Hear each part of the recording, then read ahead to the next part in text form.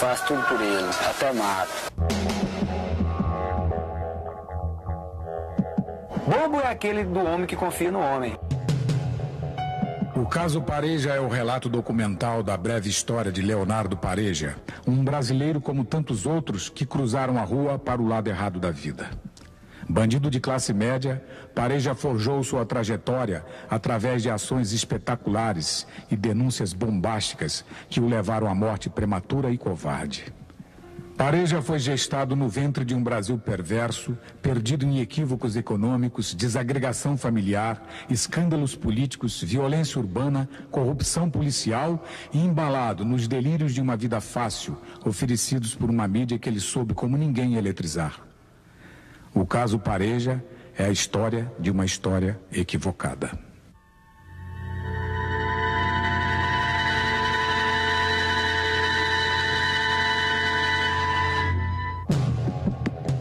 Eu era um verdadeiro mimado do meu pai. O perigo é que me faz viver. Ninguém fala porra nenhuma! Todo mundo quer dar tiro, porra! Vamos lá! Um bandido até pé de chinelo. Desce! Desce, Cris! Desce, Cris! Eu agora me eduquei dessa maneira e não tem como você deseducar. Acabou.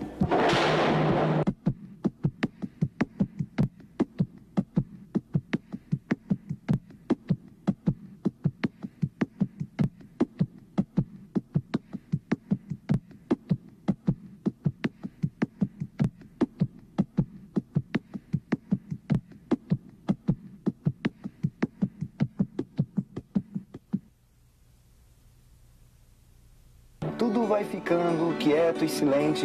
Só na cidade se ouve alaridos, sons coloridos que chegam como gargalhados de uma tentação e me deixam cercados pelas muralhas da solidão. Nove horas. O sentinela sobre um dos portões fortes e gigantes inicia o toque de silêncio na medida que as luzes vão se apagando e o cerco da solidão vai se apertando. Noite dos fantasmas e tenebrosas para mim. Mãe, tenho que parar, porque agora tudo é silêncio.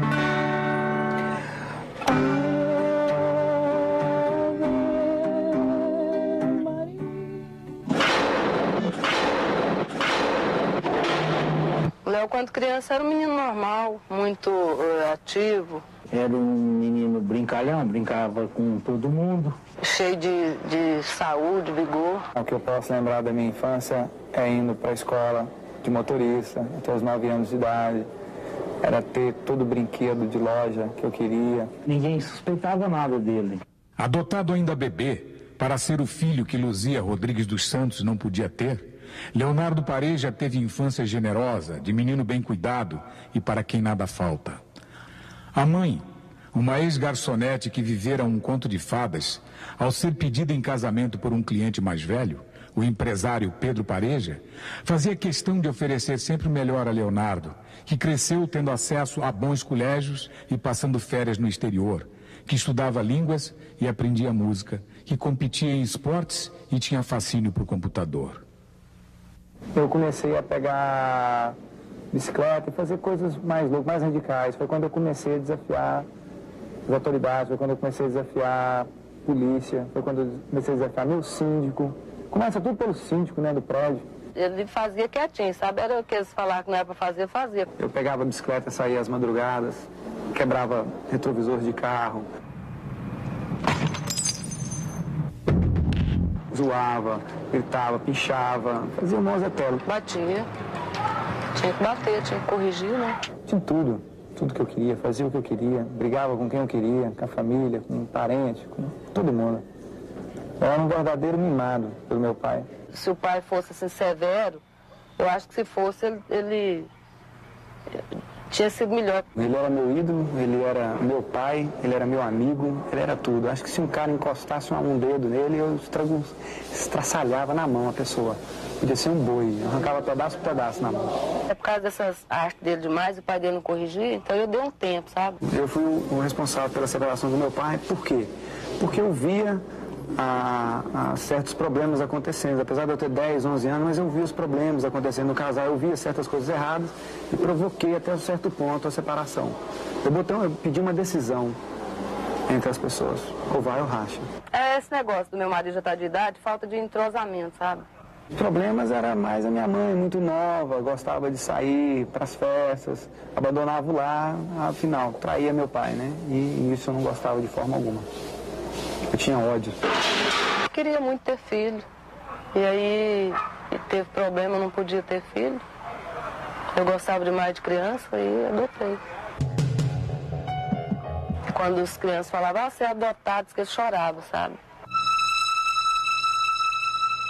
Ele nunca tocou no assunto de verdade, sabe? Então eu também não gosto de falar, não. Mas a vida abastada dos Pareja começou a dar sinais de que não iria durar muito. Investimentos mal planejados, aplicações financeiras infelizes e, de repente, a família se deparou com uma nova e dura realidade: a falência. Fui para a periferia. Foi quando eu comecei a ter o envolvimento do crime. Foi quando eu comecei a ver de perto drogas, assaltantes, ladrões, coisas roubadas. Eu comecei a ver a, a marginalidade mais de perto.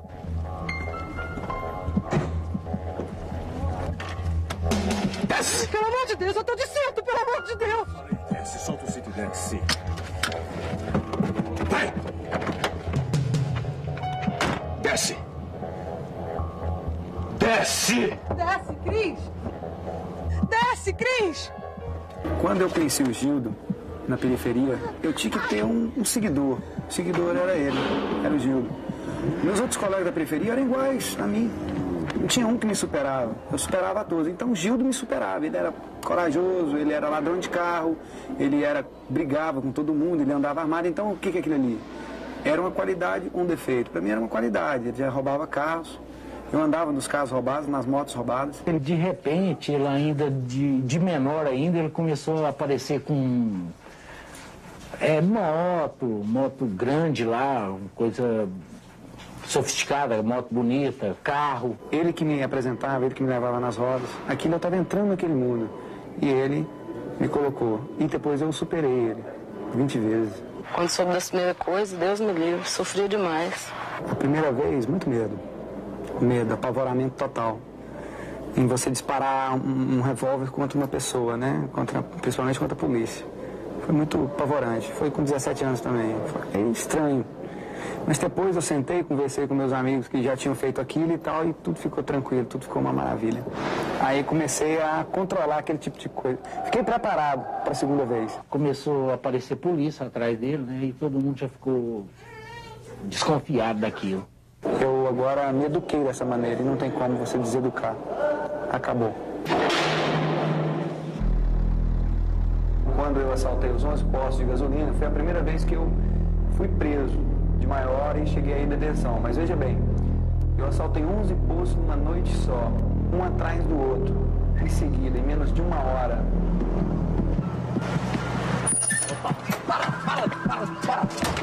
Cadê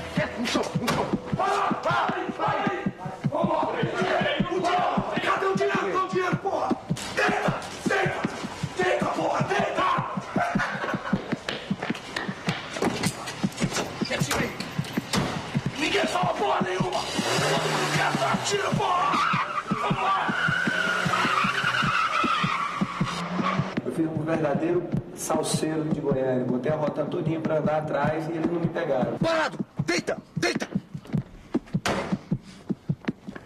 Dá o dinheiro! O dinheiro! Deita! Deita, porra!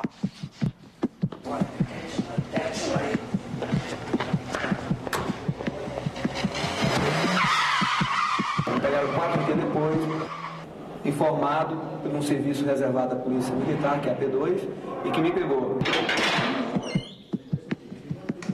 A escalada de Leonardo Pareja no mundo do crime foi rápida. O menino mimado que gostava de brincar de contestar a tudo e a todos tinha um novo desafio que o fascinava: transformar-se em bandido mito, inteligente e invencível. Eu uso documentações falsas. Eu nunca posso me usar. Eu tenho que representar 24 horas por dia um outro personagem. A diferença de um filme, de uma novela, é que eu tenho que representar e não posso falhar. É rápido demais, né, o cara, né? Ele põe pra ver mesmo. Eu tenho que interpretar até o fim. Machuca a vítima também, né? Se eu sou realmente perigoso, se eu ajo com, com agressão física. Desconheço qualquer crime praticado pelo.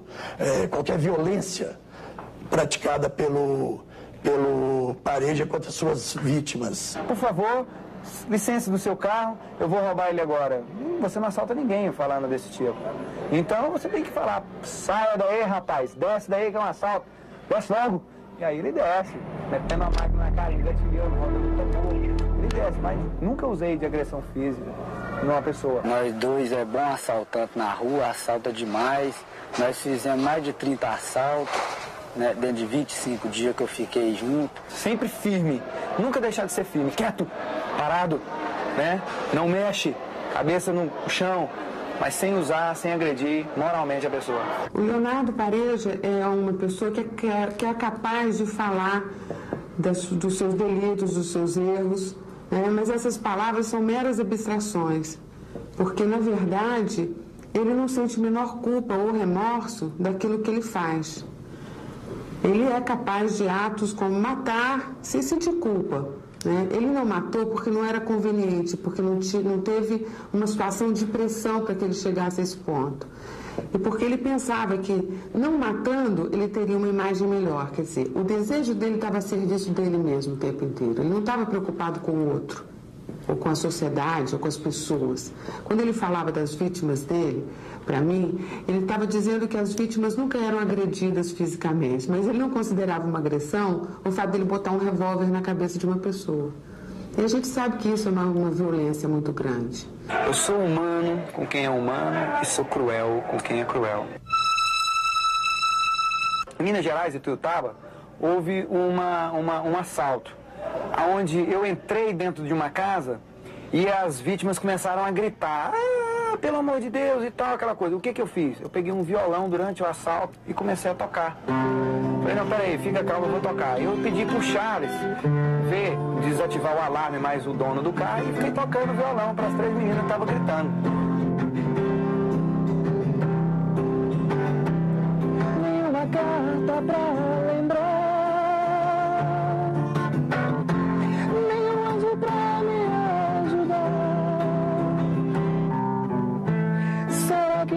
Você me esqueceu? Eu não sei, eu preciso só saber. Nenhuma carta pra lembrar, nenhum beijo pra mim. Aí a gente zoando as meninas olhando assim, eu pipoca comendo e eu lá tocando violão. E a arma em cima da estante. Larguei o violão do lado, peguei a minha pistola e o que que aconteceu? Peguei minha pistola e cheguei. Quando eu vi, a polícia estava cercando e dando tiro no Charles, e o Charles rendendo o, o tiroteio. Eu entrei dentro do Santana, já tinha desativado o alarme, saí trocando tiro, metendo bala na polícia, já mudei a minha feição totalmente. Eu estava uma pessoa carismática com as minhas vítimas, humanas, e agora já mudei para cruel junto com a polícia. Se for preciso matar quem precisa, eu mato.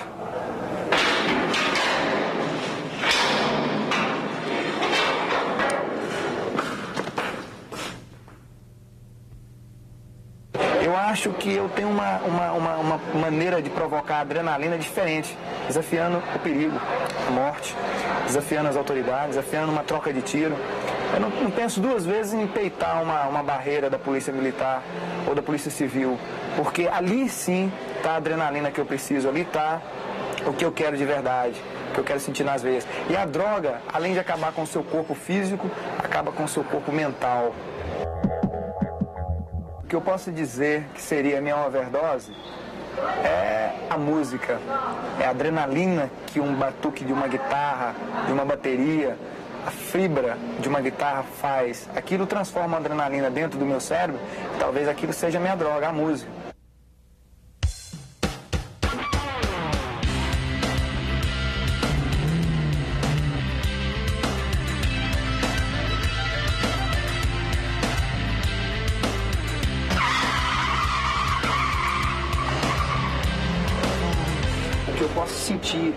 Estou ouvindo uma música dentro de um carro é um poder absoluto de comando e de coragem. Eu, ali eu assumo o personagem de qualquer situação de ação. Eu assumo e me transformo. No momento que eu saí daquele loco, aquele loco de, de, de música, aí sim, parece que joga um balde de água fria. Eu acho que se eu fosse assaltar um banco, eu teria que entrar com o Walkman da banda Guns N' Roses. Eu não tava nem, eu esperava a Rotan chegar só para trocar tiro com ele, ouvindo tudo a lá Guns N' Roses, armas e rosas, né? Metia bala nele, depois deixava um buquê de rosa. Aos poucos, com habilidade mental capaz de manobrar até as próprias psicopatias, Leonardo foi dando vida a um personagem que o acompanhava desde as primeiras fantasias infantis. Começava a tomar forma o mito do bandido de bons modos, inteligência acima da média e que, mais do que tudo, deveria ser respeitado pelos comparsas de crime por ter caráter. Olha, para ser bandido, para ser um bom malandro, você tem que ter caráter. Aí a pessoa se pergunta, porra, mas vagabundo não tem caráter? Tem. O caráter do vagabundo, do malandro, é o caráter de não acaguetar, o cagueta, o safado, sem vergonha. O caráter de dar a palavra e cumpri-la. O caráter de ser homem na hora de apuro junto aos seus companheiros dentro de presídio. Esse é o caráter da malandragem, do bandido. Se você promete uma coisa, por mais impossível que ela seja, você tem que cumprir. Em 92 eu cheguei na cadeia, com um mês e quatro dias eu fugi da detenção, junto com ele. Quebrei meu pé, ele ainda me carregou, que não é pulou do prédio, entendeu? Era alto demais. Aí eu quebrei o pé. E o único que estava são era ele. Aí ele olhou para trás e procurou o que, que tinha acontecido comigo. Eu falei, não aguento andar não, meu pé quebrou. Aí ele foi e falou, não, então duro no meu ombro. Me carregou. Mas foi pro gelo, onde que vende gelo, entendeu? Aí depois veio com táxi e me deu minha liberdade.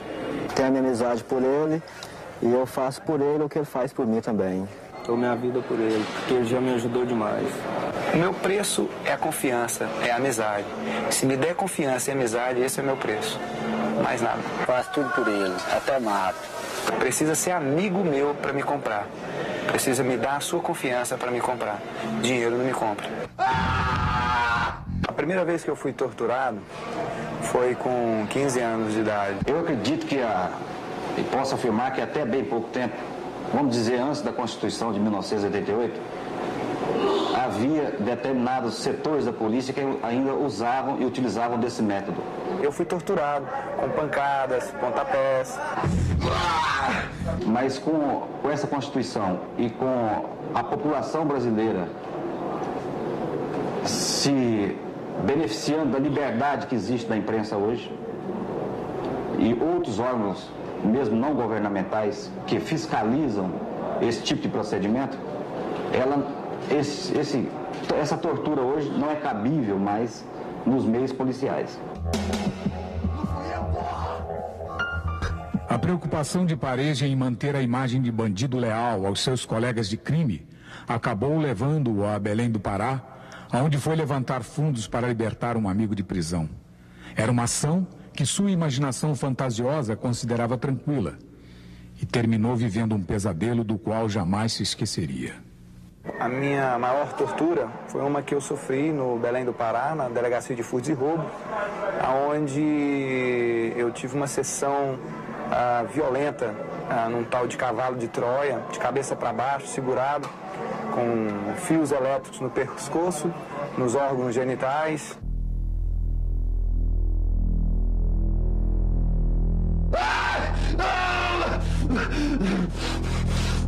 E porrada até mandar parar.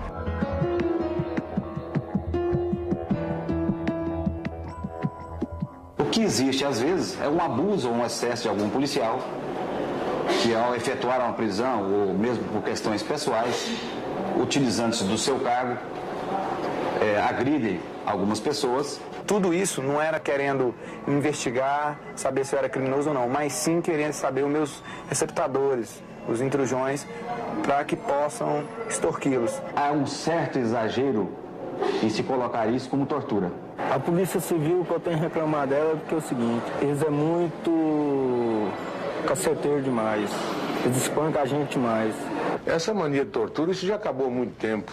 Não existe tortura coisíssima nenhuma. Foi quase em dois dias eu defecando sangue, vomitando e quase imóvel um dia inteiro dentro da cela. Isso não existe. Não existe. Traz um revolta na gente, entendeu? Só revolta. Polícia tortura com várias finalidades. Primeira, fazer uma investigação mais rápida. Essa prática tão abominável, que era de extorquir confissão mediante violência, ela, graças a Deus, está totalmente debelada.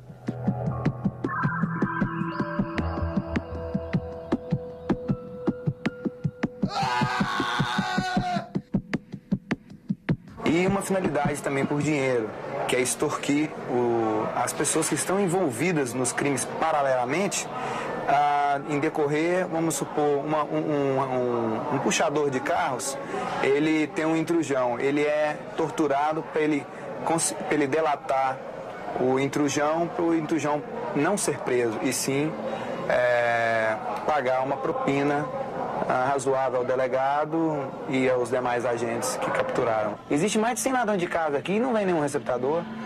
Você vê, os ladrões vêm, mas o receptador não, porque eles têm. E é lógico que eu nunca vou entregar os meus também. Isso aí é cravado.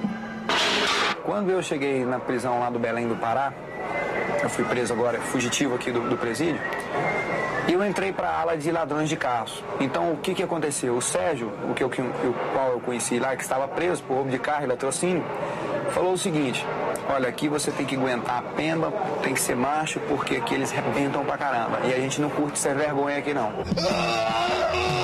Eles primeiro eles torturam o cara para saber se dá para fazer o acerto ou não. Se o cara aguentar o pau, arrebentar ele e tal, ele não denunciar o que ele quer, aí eles fazem um acerto porque eles estão livres de, de, de negócio. Eles tinham um departamento lá de digitais e computador sofisticado. Bastava botar minha digital lá, saberiam que eu era fugitivo do presídio, saberiam que eu era fugitivo de outra detenção, saberiam que eu era um assaltante perigoso, saberiam que eu tinha fugido do hospital, mas não queriam saber de mim, eles queriam saber do dinheiro, dos 4 mil reais em notas de 100. É isso que eles queriam saber.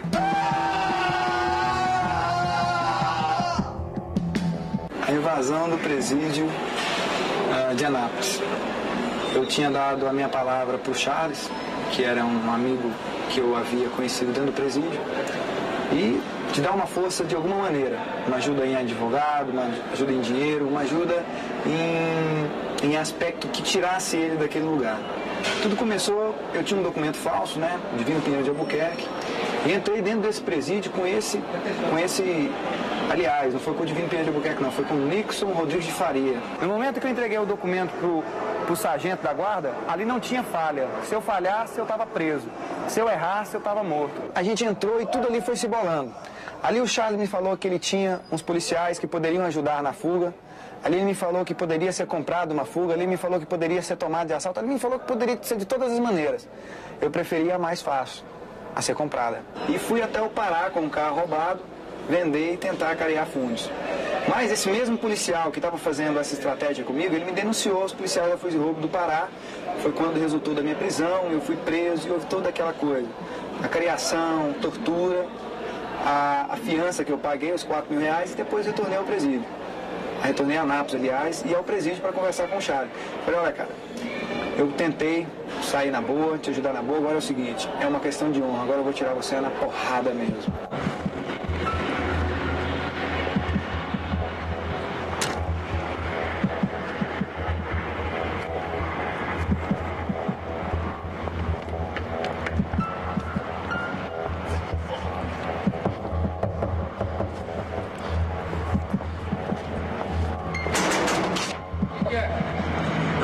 Sacola pro Charles. Será que você pode entregar para mim?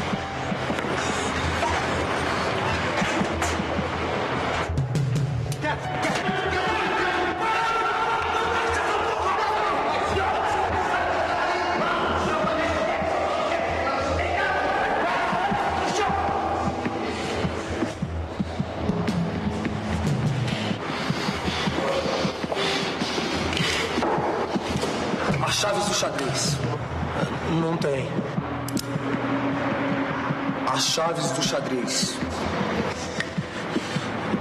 Não fica com a gente. As chaves do xadrez.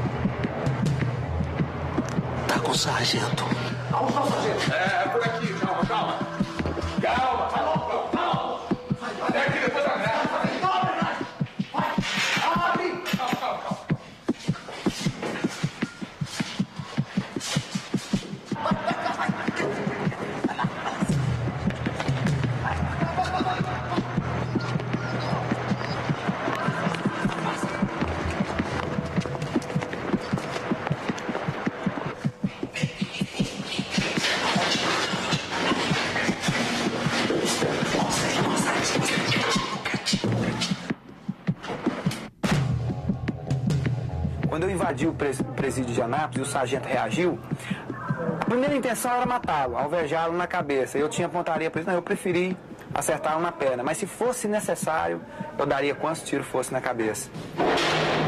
Atrás de sua fala mansa e de seu sorriso estudado, Leonardo Pareja escondia uma velha fixação, uma antiga personagem de seus sonhos, com a qual apostou todas as fichas e perdeu a morte.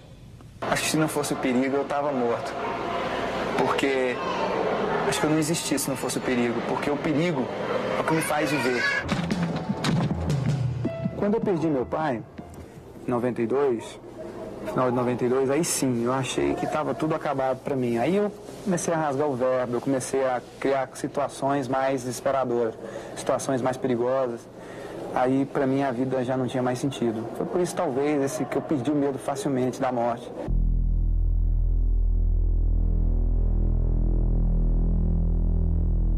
Eu acho que se eu colocasse uma tatuagem ah, no meu corpo, que eu não sou muito ah, fã de tatuagem não, eu acho que eu colocaria uma tatuagem da, da morte, desenharia a morte na pá esquerda do meu ombro, atrás.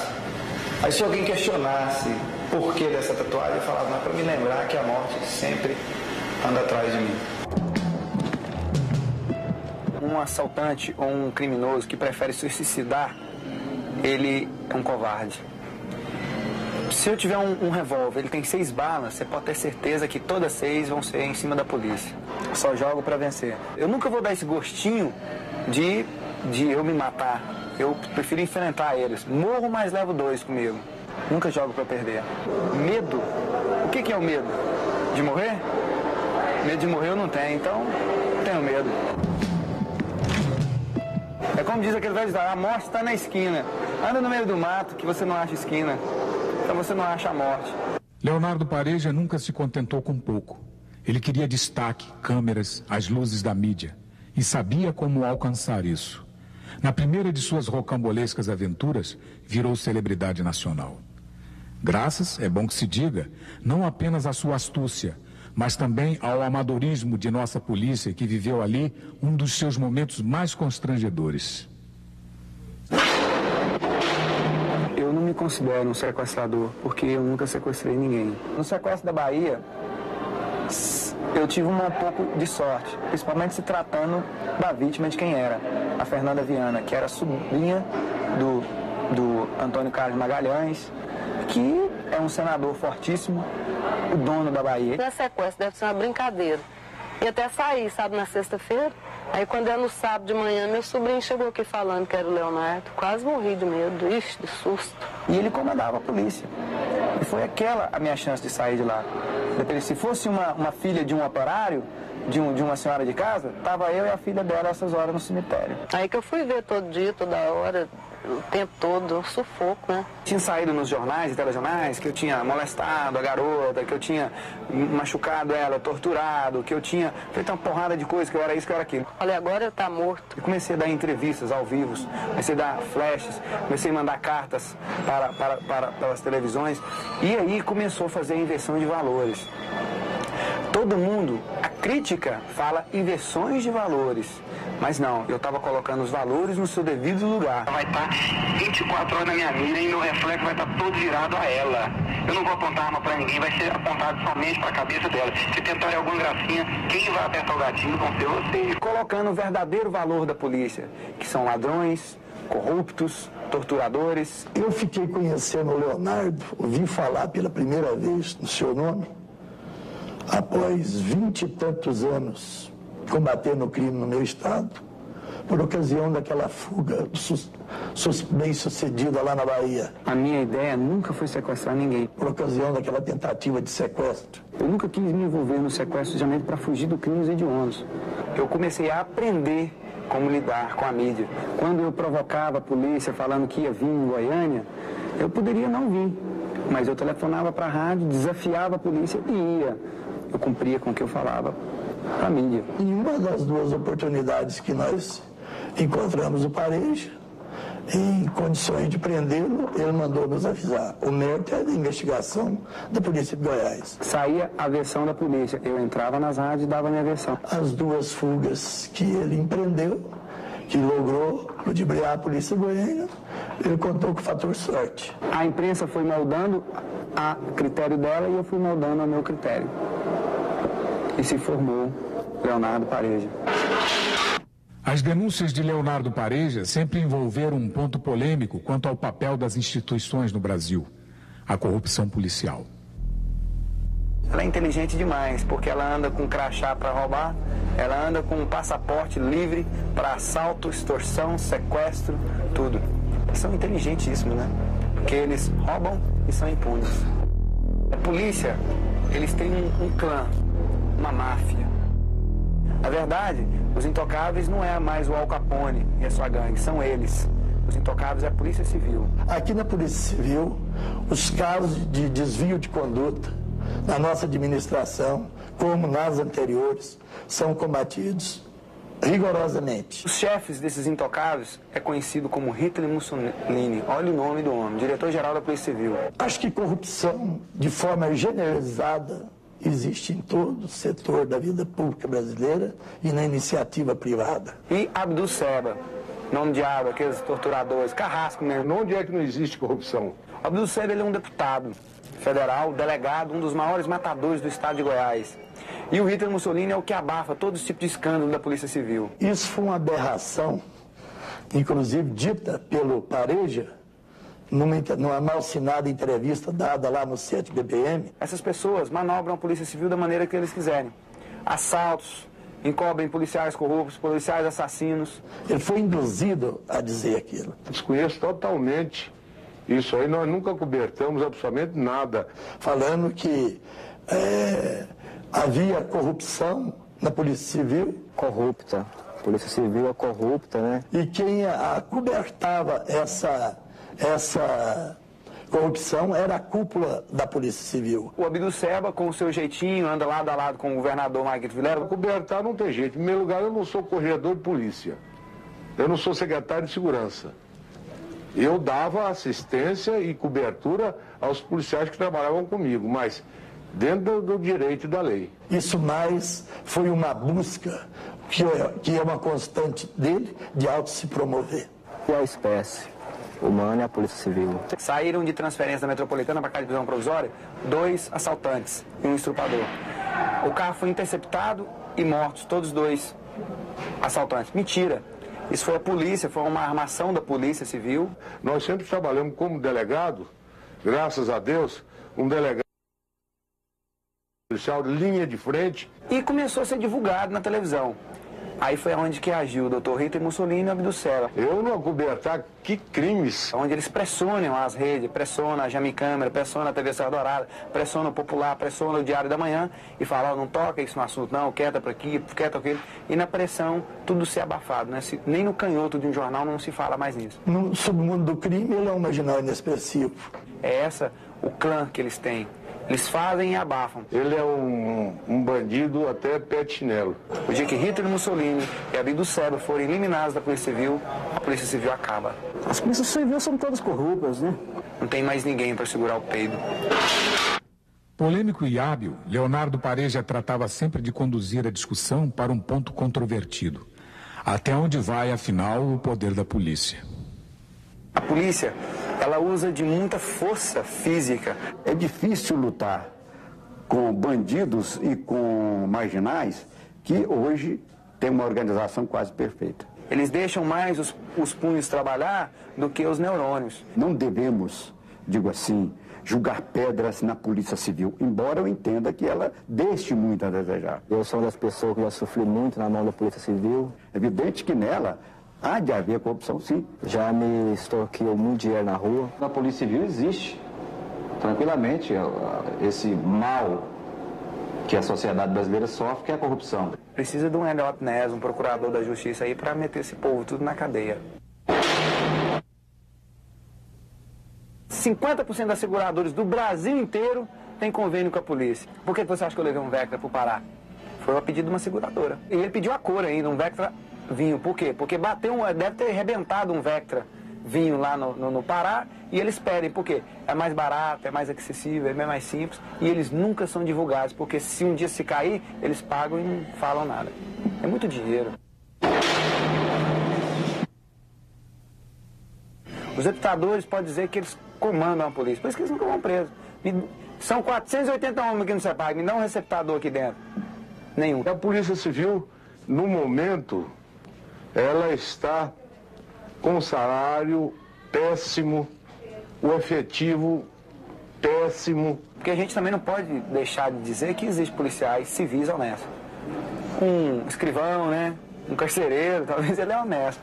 É perigoso você é, desmoralizar uma entidade como a Polícia Civil. Hoje, dentro do presídio, existem pessoas mais inocentes do que os próprios que trabalham na polícia. Antes de você criticar, você tem que ver os serviços prestados dessa entidade. A gente assalta e ainda é assaltante. Eles assaltam e é polícia.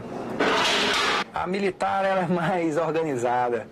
Ela tem um, você mata um PM, aparece 10. Você mata 10, aparece 100. A civil não, você mata um, sai todo mundo correndo. Quanto à polícia militar, eu acho que ela já tem uma organização melhor. Olha o exemplo. Em Tutaba, eu venho de uma perseguição de Tutaba a Tapaciguara. A gente passa a primeira barreira, bala 3x4, tiroteio, vidro quebrado. Na segunda foi maior e eles estavam lá. Embora o, o, seu, o seu contingente seja bem grande, a verdade é que dentro dela a corrupção é bem menor. Se eles põem a mão na gente, se a gente tiver um dinheiro para sair, eles não pegam, eles levam a gente para cadeia. Isso por causa da hierarquia. Eu prefiro um confronto com a Polícia Civil do que com a militar. Eu estava no sequestro na Bahia. Durante a perseguição, eu saí no Monza 2.0, MPFI, que é rápido, principalmente quando é álcool. Mas, ao contrário, eles estavam em carro muito mais rápidos do que eu. Condições de trabalho, não tem condições, não temos viatura. Isso é uma mentira, porque todos os carros eram importados e roubados roubados de vítimas, que aí eles pegavam e eles camuflam os carros na, nos pátios das delegacias. E o que que acontece? Quando precisam, eles vão lá e usam, mas nunca informam o dono. Não tem armamentos? Para pegar um, um, rapaz com uma 765, eles usavam metralhadoras 9mm, FAUS, AR-15, só pistola de última geração e não conseguiram. É porque eles não têm é peito. Depois veio dar desculpinha, ah, não, não tinha carro, tava de carroça, tava, tava de mangaré. Eu tava correndo a pé. Indo. Vocês não tinham carro, eu tava correndo a pé. Estamos comprando 30 coletes, que a Polícia Civil não tinha nenhum. Lá na, na, na, na, fazenda, desceu 40 homens, mas eu meti uma bala pra trás, eles patinou tudo, deitou tudo no chão assim, virou um 40 homens barbados deitados no chão. Espero comprar armas sofisticadas, carros diferenciados. Tinha uma moitinha. Aí eles achavam que eu tava dentro da moita. Sai daí não sai. Eles cercaram a moita com 10 e não teve um homem para entrar dentro da moita. Preferiram dar tiro lá dentro. Quer dizer, se eu tivesse lá dentro, eles tinham me matado. Aí o que, que eles iam falar para a sociedade? Que eu tinha reagido à prisão. Mas é não, é porque eles não têm coragem de te render, de te prender. Eles atiram com medo de você. Atiram de medo. Dentro do CEPAG, o Leonardo Pareja fazia questão de demonstrar tranquilidade e de evidenciar que ali não tinha razões para preocupar-se com sua segurança. Aqui dentro você tem uma rotina de proteção. Segurança é o seguinte, é ficar sempre atento de olho nele, né? Dois, três do lado dele direto, 24 horas. Ninguém sabe o dia da manhã aqui dentro. Quem não sabe o que que vem, né? Os caras têm recado do cara e tudo, né? Tem recado da gente que anda com o cara também, né? A minha segurança aqui é o que eu te falo, é a amizade que vive em volta de mim, são os meus amigos em volta de mim. Nós todos sete andam armados. Nós tem as travas dentro da cela com os cadeados por dentro, porque recalcado aqui é o que não falta. Tem uns caras aqui que gostam de assaltar, de roubar, então nós não permite isso aí. Nosso domínio na cadeia é pela paz, não, não pela morte. Bobo é aquele do homem que confia no homem. E eles sempre estão armados e nunca vão desarmar. No dia 15 de março de 1991, o coronel Nicola Limonge Filho assumiu a direção do CEPAIGO. Durante os cinco anos e 15 dias que permaneceu como diretor, Limonge foi duramente criticado por sua administração. Em 1995, envolveu-se em sérias trocas de acusações com o então juiz da Quarta Vara Criminal, Isaac Stenca Neto. O clima tenso no presídio se agravou. A situação era insustentável.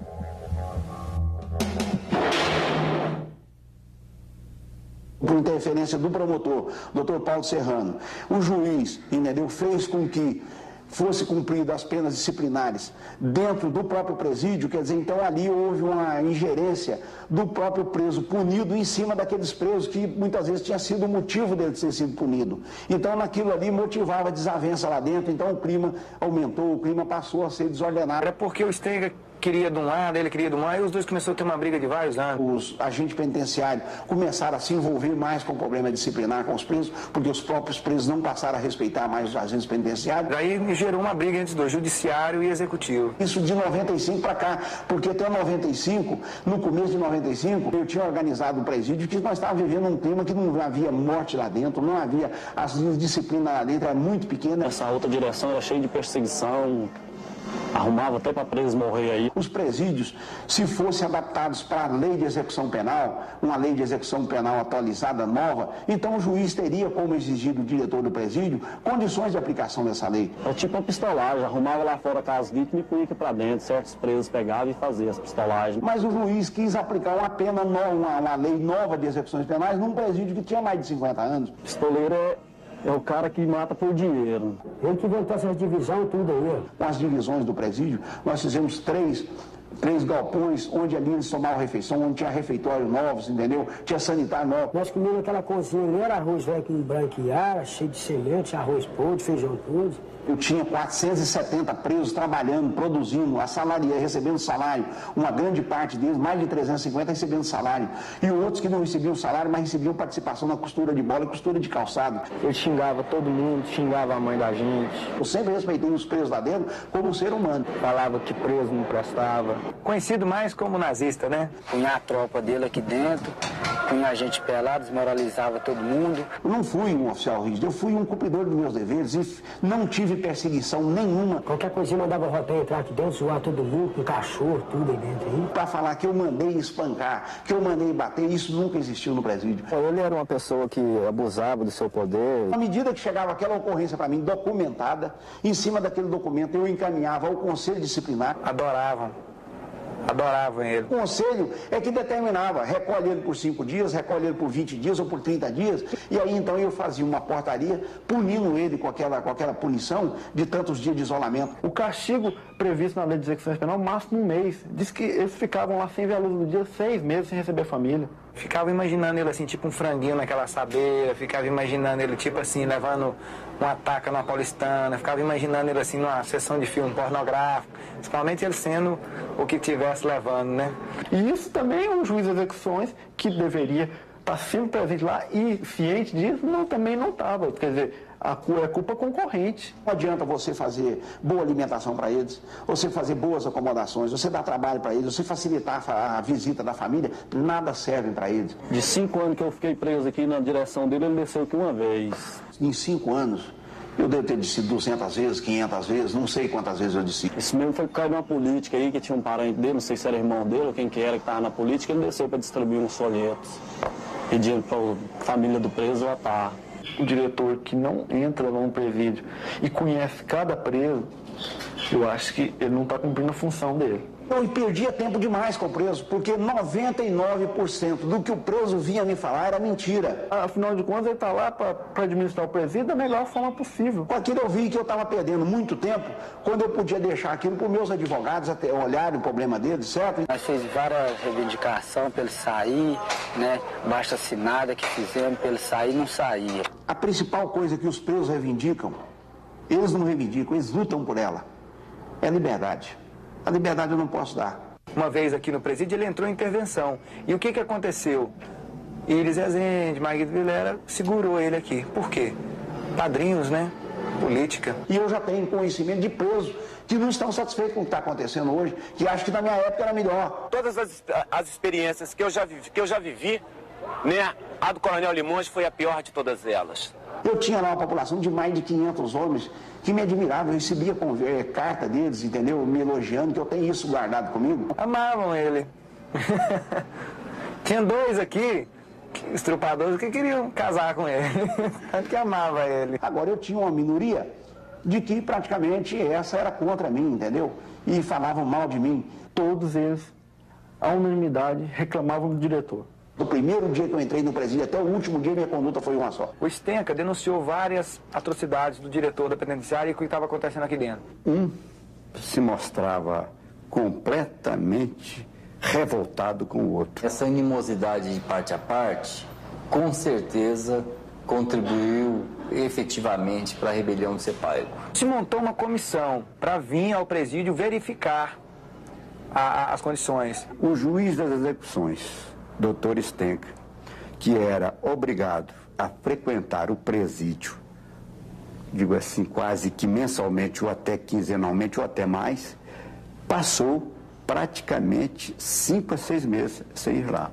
E os presos sabiam de todas essa visita e começaram o questionamento sobre a rebelião. E aí, Léo, Léo, eu era questionado 24 horas sobre a rebelião. Com essa falta de fiscalização do juiz, abriu campo para que não só o diretor da penitenciária, Nicola Limonge, como outros fizessem, na verdade, o que queriam lá dentro. Já havia uma certa vontade do pessoal tomar o pessoal de refém para negócio de rebelião, não para fuga. Foi aí que eu resolvi, por uma questão de consciência do dever a ser cumprido, do qual eu nunca fugi, de ter que ir ver pessoalmente e logo o que, que existia, se quem, se quem tinha razão era o juiz das execuções ou se que, quem tinha razão era o diretor da penitenciária. Cheguei a falar, ulalá, porque eu vi certas pessoas, eu vi mais de oito juízes, eu vi coronéis, eu vi diretores e principalmente o desembargador Homero Sabino. A gente não sabia o valor da, dos reféns. Quando nós chegamos conversando com eles, nós sabíamos que era liberdade na certa. O Limonde ele armou um tumulto maior. Assim que ele ficou sabendo que o desembargador viria até o presídio, mas ele armou um tumulto maior, chamou mais coronéis, chamou juízes da política dele para tentar intervir certas coisas. Ele acabou foi temperando o prato do pessoal aqui que estava muito apetitoso. E no cumprimento do meu dever, eu cheguei à triste conclusão que tanto o juiz das execuções como o Nicola Limonge iam muito mal, um na direção e o outro na vara das execuções. Minha Nossa Senhora, a pele fina do saco da justiça entrou dentro do, do presídio.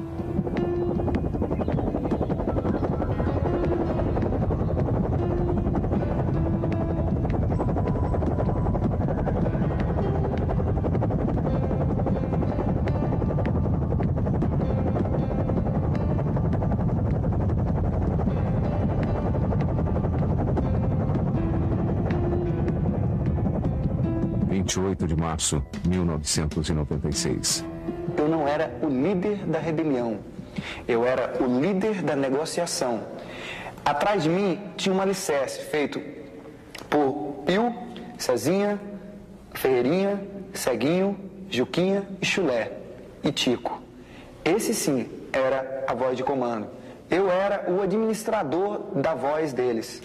O cara que tinha punho, o cara que subia lá e rasgava o berbo.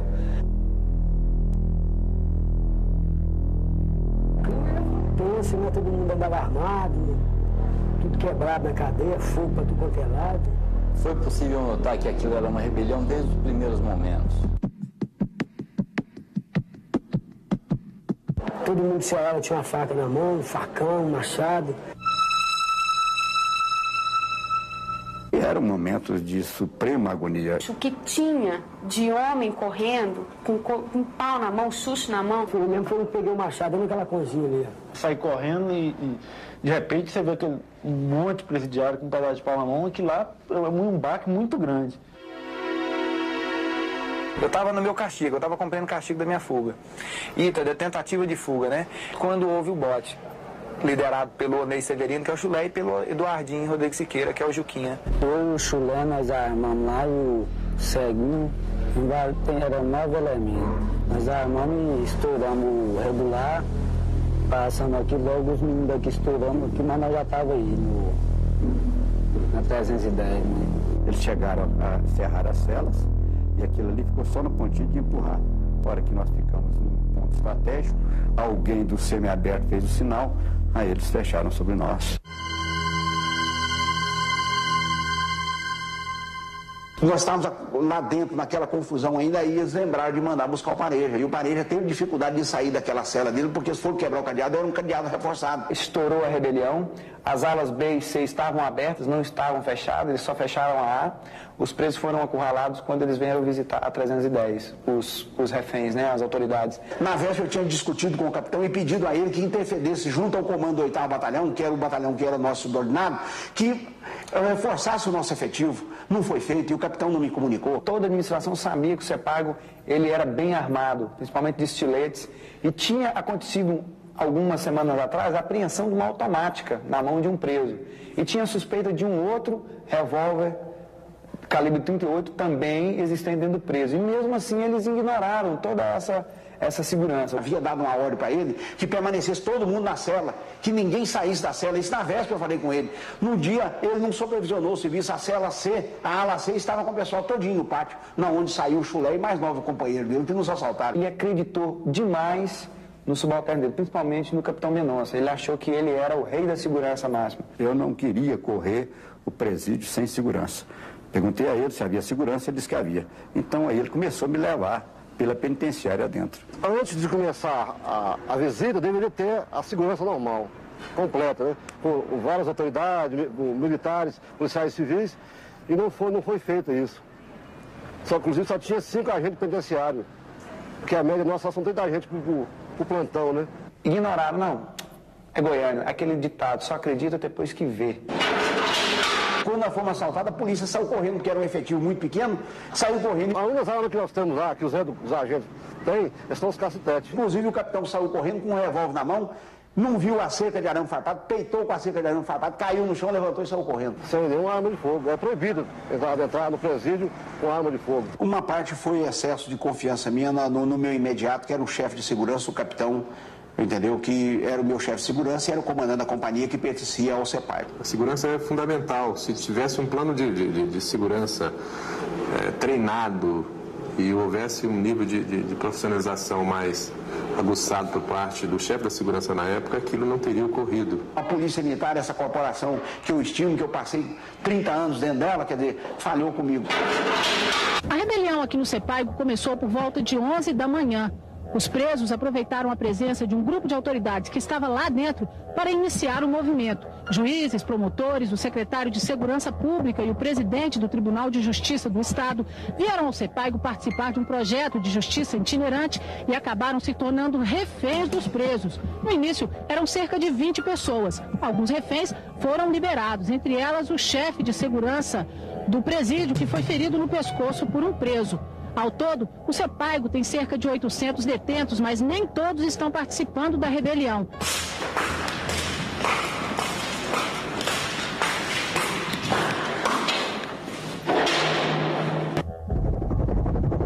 Chegava, eles me pegavam, arrastavam e me punham, me expondo pro, pro helicóptero, porque os caras do helicóptero com um fuzil lá, eles mandando atirar em mim. Eu, o subtenente Moura, o Moura foi arrastado não sei quantas vezes, porque nós é que os dois que manobravam com o policiamento lá dentro, que tinha força com a polícia militar. Então eles usavam a gente. Arrastamos o diretor, o Limonge e o tenente Moura até perto do muro e eles mandaram recuar o helicóptero. Todo mundo queria um pedacinho dele, um pedaço do fio do cabelo, da orelha, do nariz, do pé. Queria estraçalhar ele. Acho que se cada preso tirasse um pedacinho dele, ele saía daqui desintegrado. Ele, se ele tivesse ido comigo, eu tinha sofrido demais. Ele teve vários maus tratos no começo. Ele levou algumas pancadas, levou algumas humilhações. Se fosse eu não tivesse ficado com ele, eu tinha morrido. Os presos sempre não, não perdiam a, a oportunidade de taxá-lo de diversas coisas, de que ele era nazista, que não, é, que não era possível com que o governador deixava um homem daquele permanecer na diretoria. Eu falava, preservem a vida dele. A vida dele é a mais comentada lá em cima, porque todo mundo sabia que ele era um carrasco. Quando você vê a unanimidade, aí você, é, é, difícil você não desconfiar. Eu ponderava, o Limonge tem que sair. E eu tinha total negatividade de todos. Ninguém, não, não sai, não sai, ele vai sair comigo, porque a hora que sair eu vou matar ele. Eu falei, não, não é assim. Ele teve uma predominância muito forte em cima dos outros presos. Eu comecei a convencer o pessoal de elite, que era o comando da mesa redonda, para eles convencerem os demais. Foi quando eu falei, olha, gente, a gente só ganha a parada se o Limonge sair daqui. O que havia de revolta, havia um preso chamado Zezinho que tentava, às vezes, chegar perto dele, falou, olha, se não fosse aí o Pareja, outros, eu queria te fazer igual eu fiz numa, numa, numa madeira ali. Eu queria cravar 100 facadas e, e sairia com a consciência mais tranquila do mundo.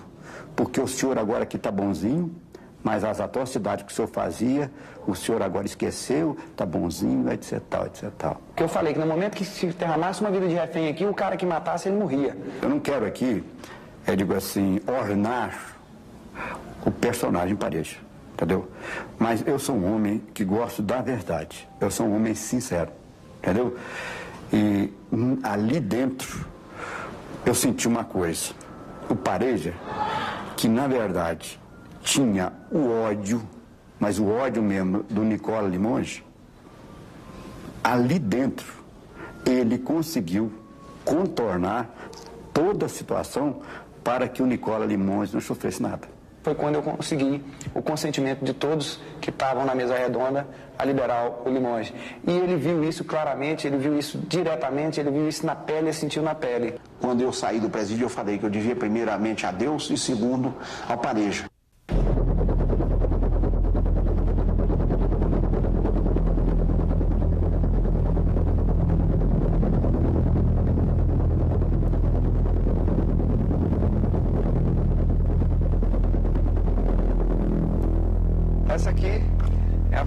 310 do dia da rebelião. Aqui a gente conseguiu reter grandes personalidades, coronéis, juízes, desembargadores. É um lugar de alta, alta segurança e quase inviolável, principalmente nas nossas circunstâncias. Aqui tinha um pessoal que ficava de frente, era elite de elite de frente de guarda do dia da rebelião. A maioria do pessoal armado ficava nessa posição. Aqui existia um, um botijão de gás e aqui era a ala mais de segurança máxima, onde tinha outro portão e outra escolta e outro botijão de gás. Aqui era o banheiro, um banheiro comunitário, onde coronéis, juízes, ah, todo mundo tomava banho, inclusive os presos. Banho era difícil ali, até para homem era constrangedor. Aqui era uma, uma cela de refém, onde ficava o juiz ah, Luísio, Zacarias, alguns motoristas e o chefe da cela, que era o ceguinho, na nossa cela, a cela 7.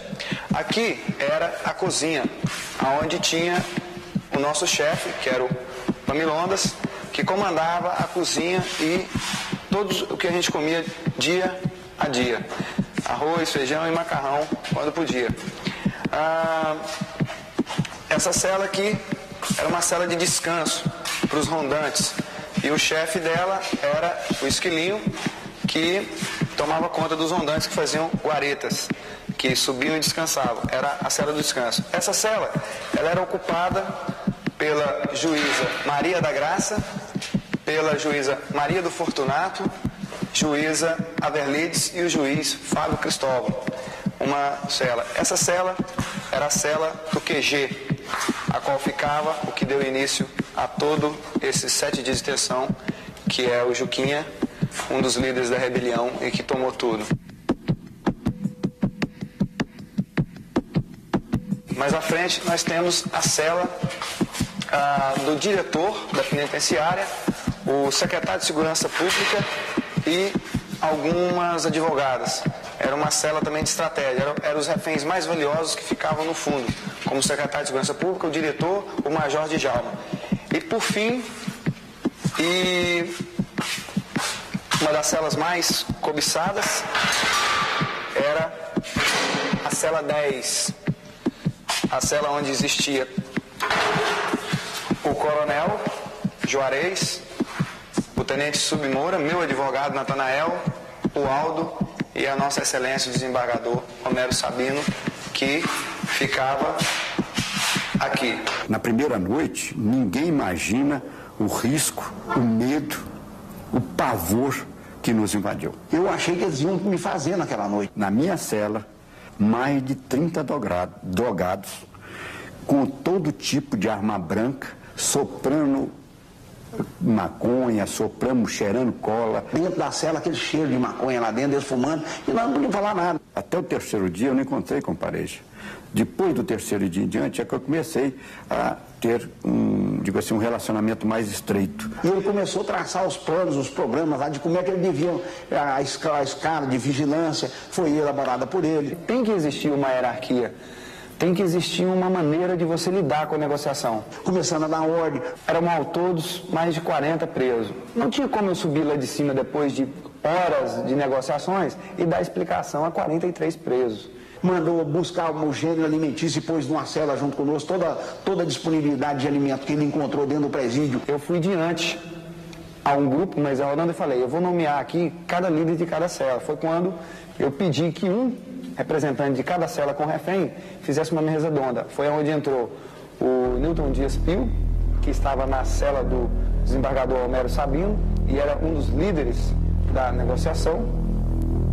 Ah, o Chulé, que estava na cela do secretário de Segurança Pública e do diretor da penitenciária. O Wagner, que era o ceguinho que estava na cela do juiz Zacarias, Aloísio e alguns motoristas. Ah, o Tico, que estava na cela da juíza Maria do Fortunado, ah, Maria das Graças, a Verlides e o juiz Fábio. Na realidade mesmo, não tinha certeza nenhuma se a gente saísse ou se não saísse. Mas só que a gente já tinha decidido se não se entregar. Um outro preso, que era o Eduardo, que era o Juquinha, que ele era mais um líder de frente. Tinha o Ferreirinha também, que ele era um dos líderes da cela do Gilberto, do diretor do, do fórum. Eu falei bem diretamente no do Homero Sabino, ele era um desembargador e aqui haviam motoristas e todos seriam tratados da mesma qualidade. A rigor não houve tratamento diferenciado. E eles foram bons demais conosco. Não deixou faltar água nem comida. O desencontro da polícia, a, a- a armação da polícia era tão grande que eles não tinham controle de nada. O presídio feminino era fuga atrás de fuga, aonde eles tinham levado todo o pessoal daqui de dentro para lá, dizendo que ia ser mais fechado. O principal estádio de futebol de Goiás agora é outro problema de segurança pública do estado. O Serra Dourada, em Goiânia, está cercado por um batalhão do Exército porque vieram para cá os presos do Sepaigo que não se rebelaram. Mais de 400 detentos já foram transferidos. O presídio feminino onde eles estavam não oferecia condições para abrigá-los. Vários túneis para fuga estão aparecendo até nos pés da polícia. Apesar disso e da rebelião, o comandante da PM diz que a população não tem o que temer. Nós temos lá efetivo e armamento suficiente. E as instalações lá são seguras para esta emergência. E quando eles levaram para o Serra Dourada para dar mais segurança, aí que eles perderam o controle mesmo. Acabou tendo um homicídio e várias tentativas de fugas lá do Serra Dourada também. Um fato interessante da rebelião aqui ah, era a organização que a gente tinha e que a gente imperava aqui embaixo. Limpeza, lavagem de roupa, banho e principalmente a segurança. Eles tinham medo também de morrer, porque não era só nós, não. Quando acontecia um negócio, todos eles se recolhiam na cela e fechavam a cela. Se a ala norte via uma invasão, visse uma invasão da polícia da ala norte, ele avisaria a 310, a 310 avisaria aqui dentro e a gente se lacrava. Preocupação muito grande prisioneiros, dos amotinados, com relação à possível invasão. Naqueles três primeiros dias, até sábado, o clima não era de, de, de, de, de pavor só por nós, não, mas por eles também. Não há invasão, não há nenhum preparo de invasão. Eu não estaria aqui para isso. A caixa d'água tinha uma visão ampla de todos as- os pontos de, de- de- de vigília. Então o que, que acontecia? Se chegava caminhão da Rotan, era passado um relatório para mim. Leonardo Pareja, por ser uma pessoa de formação eh, educacional melhor do que a grande maioria dos presos no CEPAIGO, ele tinha mais condições de diálogo, ou seja, eh, entendia melhor as posições da própria comissão e também sabia trazer com mais prudência a própria reivindicação dos rebelados. As reivindicações é de fuga pura e simplesmente. Não há nenhuma outra reivindicação que se refere mesmo à redução das penas do que já foi proposto pelo próprio juiz das execuções criminais e a revisão de tudo. Eles pediram seis revólver, pediram seis caixas de bala, pediram seis coletes, pediram 20 mil reais e só. Eu, por mim, dentro, eu falei, gente do céu, que sopa. Quer dizer, a comissão fecha na hora. Eles foram na comissão. Quando chegou na comissão, a comissão aceitou. Falou, não, então nós vamos mandar o carro, vamos mandar o material. Aí quando passa mais tarde um pouco, o Pareja vem e falou, Cornel, tudo fechado, o senhor vai sair, o senhor vai ser o primeiro a sair. Por que, que é que eles exigiram que sem a libertação do Nicola Limões, no meu modo de entender, um dos responsáveis por tudo que aconteceu, no mínimo culpa grave, tivesse sido negociado. O coronel Limonge era dos reféns o mais visado pelos amotinados. É, havia um risco enorme é, contra a pessoa física dele, de modo que uh, nós tínhamos certeza, ou pelo menos a convicção, de que nada seria feito contra os Madoromero Sabino de Freitas, não só pela autoridade que ele tinha, como tem, como também ah, pelo respeito que eles tinham por ele e a, a importância que, na concepção deles, era a presença dos Madoroméros junto aos amotinados. Escureceu, nós fomos para o portão. Chega lá no portão, entra o primeiro carro. Dentro da especificação, uma caixa de balas, dois revólver, colete, tudo direitinho. Eles testaram o carro, examinaram o revólver, deram dois tiros com o revólver, cada revólver deram um tiro para testar o revólver estava atirando, vira a caixa de balas e tal. Aí saiu as três juízes. Entrou o segundo carro. Saiu o meu soldado, saiu o Jane, saiu o, o doutor Gilmar, entendeu? entrou o segundo carro. No terceiro carro que nós íamos sair, entrou um carro fora de especificação. Entrou um Verona, 1.8 e duas portas. Aí naquela hora o pareja gritou falou, ó, não tem acordo, não tem acordo. Recolhe esse carro que não, esse carro não serve para nós. Furaram, furaram o acerto nosso.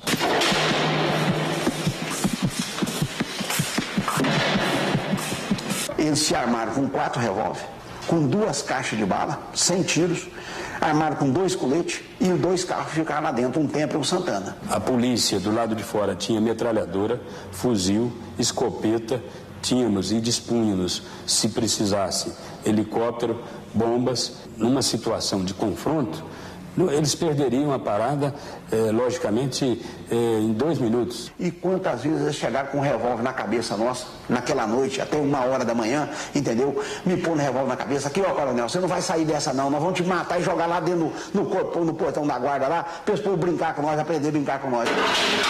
Quando eu subi para cima da caixa d'água, outra coisa interessante, eu pedi com o Veriano, que era um da Rebelião, falei, Veriano, traz uma uma, um violão para mim. Olha só, isso subiu 15 metros de altura com um violão e uma bandeira. Eu falei, vamos botar a bandeira aqui. E qual a comunicação que eu queria passar em cima da caixa d'água? Eu tocando violão e uma bandeira do Brasil estendida. Que ali tinham brasileiros não presos e todo mundo tinha sentimento. Porque quem gosta de tocar um, um violão, ele tem sentimento, ele tem carinho, ele gosta de se expressar.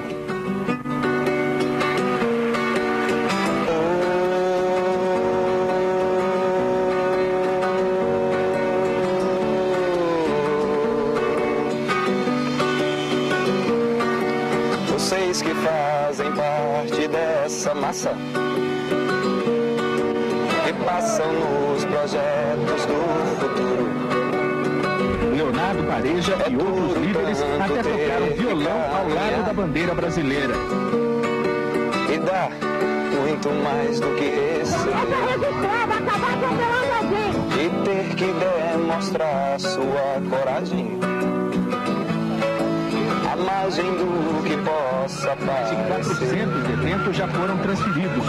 E ver que toda essa engrenagem das pessoas que continuam com os amotinados já sentem a ferrugem.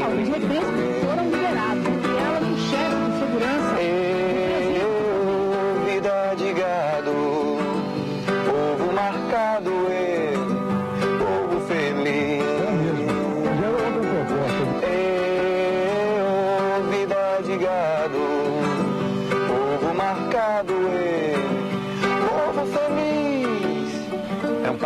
patriotas que estavam dentro de uma rebelião, gritando por liberdade.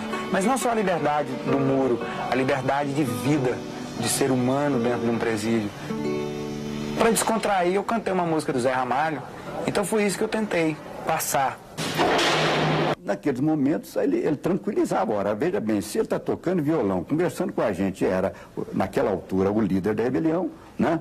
Eu, então, eu dizia para ele, olha, você também está muito intransigente lá nas negociações. Às vezes ele falava, agora só negocia amanhã às 8 horas. Volta a negociar, Pareja, volta a negociar com eles, que se Deus quiser o trem vai dar certo, rapaz. Você já viu que uma parte já foi atingida, por um carro lá deu esse problema, o defeito só foi o carro, se não tinha acontecido tudo normal. Mauri Carioca também foi um pombo correio, como eu disse. Ele ia e vinha com boas notícias. E o padre falou, então de tarde nós vamos lá. Então o que, que aconteceu? Quando foi dar lá para as duas e meia, três horas da tarde, o parejo chegou em mim e falou, Coronel, vamos lá, está aqui essa relação, olha essa relação aqui, se vocês vão atender essa relação. Você vai entregar essa relação para a comissão. E é peso atender. O Ângelo, que era o responsável pela negociação, ele acha que ele estava todo sob comando, a imprensa, aquela coisa. Eu queria ver até onde eu poderia testar ele na, no que ele tinha comando. Eu sabia que ele não tinha comando de porra nenhuma. Ele era um pau mandado da comissão de negociação. Então o que, que acontece? A maneira que eu fiz foi analisar um muro, uma coisa, eu falei, a imprensa está toda ali do lado de fora, já sei o que, que eu vou fazer. Me levaram lá para conversar com a comissão. Os primeiros a levar o muro foi o secretário de Segurança Pública e o coronel Juarez. Os, todos os dois foram exemplar, honraram a sua patente de coronel e falaram com fibra e caráter de homem. Mas à medida que eu saía do corpo da, da, da, da cela dali da 310, um vinha com um machadinho nas minhas costas, machadinho do açougue, outra vinha com um chusto nas minhas costas, outro vinha com um chusto no meu pescoço, outro com um revólver na minha cabeça. E eu fui conduzido lá das 310 até no, corpo, no portão da, da, do presídio lá, perto do campo de futebol, eu fui conduzido desse jeito. Ele sofreu muito lá dentro. Ele sofreu muito mais do que eu e do que outros. Mas aquele palanque de denúncias e de, de apelos não estava funcionando. Foi quando, acho que na segunda-feira, eu resolvi colocar o auge, o estrelato mesmo, que era o Coronel Limonge. Pareja punha o revólver na minha cara aqui pro lado de lá, punha pra cá, punha lá e tal. Teve uma hora que ele chegou o revólver em mim e tal, que eu vi, eu senti o revólver em mim, e aí de repente eu vi que ele pegou, quando eles pararam de conversar, de falar, aí ele pegou, ele pegou o revólver, pôs no ouvido e falou, ó, eu não tenho medo de morrer não, você está pensando que ia morrer? Ele pôs me, me apontando aqui, eu não tenho medo de morrer não, porque se eu morrer, morre o coronel aqui agora e morre todo mundo lá dentro. Atira se vocês for homem. Agora eu atiro. E pegou o revólver e montou para um lado lá e pá. Então naquela hora eu não vi o que eu falei. Eu, eu como se diz, meu, entrou em parafuso a minha, minha, a minha, meu raciocínio, certo?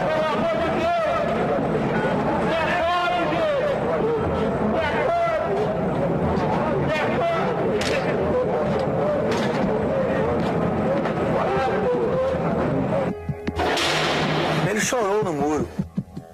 Quando ele desceu da, da escada, ele falou simplesmente, ele pegou um, a, a, camisa dele, enxugou aquelas lágrimas de crocodilo e falou assim, ah, vocês gostaram? Representei legal? Então tá bom, gente. vamos descer lá para baixo que eu quero ver na televisão o que, que aconteceu. Depois entrou na nossa cela e afirmou taxativamente que com certeza ele seria contratado pela Globo como se aquilo ali tivesse sido uma simulação. E um dos presos então me comentou Está vendo, desembargador, quem é que nos dirigia? Naquele momento, eu não tive praticamente assim o que comentar. Se eu comentei, eu estava com a cabeça a mil, que eu não lembro o que eu falei, certo? O fato dele ter subido lá e falado aquilo, eu não, eu não condenaria. Só não gostei do comentário a posteriori. Porque, sem dúvida nenhuma, aquele ato abreviou as negociações.